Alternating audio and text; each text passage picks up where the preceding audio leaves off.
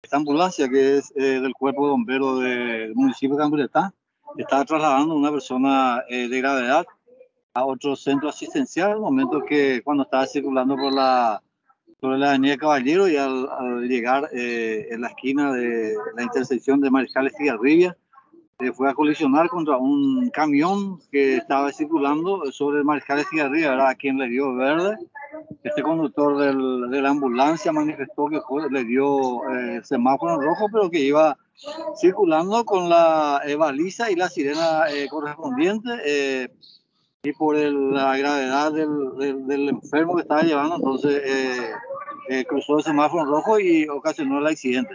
Bueno, una situación a determinar, subdirector también, si estos vehículos que están plenamente identificados, que tienen baliza, ellos tienen autorización de poder pasar semáforos rojos o cómo está la situación para tener en claro también.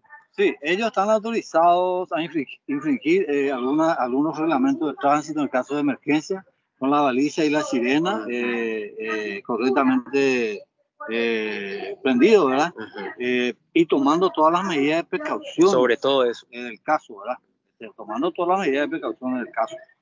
Entonces, eh, deberá determinar el juzgado de falta, porque en este caso también hubo lesión corporal, porque eh, este camión que eh, circulaba, que impactó por, el, por la ambulancia, eh, a su vez, eh, por el impacto también fue a, a, investir a otro vehículo que se encontraba estacionado en el lugar. Una cadena de situaciones que se presentó a raíz de este, de esta, de este accidente, de esta, esta situación que produjo la ambulancia. Asimismo, cuantiosos daños materiales y también lesión corporal a, a consecuencia de este, de, de, de este choque, ¿verdad? Eh, tenemos eh, tres vehículos involucrados, eh, una persona eh, enferma que, que, iba eh, que estaba siendo trasladada en ese momento. En la ambulancia, que también sufrió, a consecuencia otra vez del impacto, sufrió, sufrió más lesiones, ¿verdad? Y este, también... Este, el ocupante del camión también. El ocupante del camión que estaba circulando sufrió, sufrió lesiones en ese caso.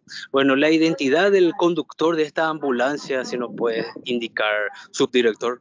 Así mismo es eh, el señor eh, Cristian Nicolici, eh, nacionalidad paraguaya, soltero de 24 años, edad con licencia de conducir, categoría profesional B, despedido por la municipalidad de Camboretá.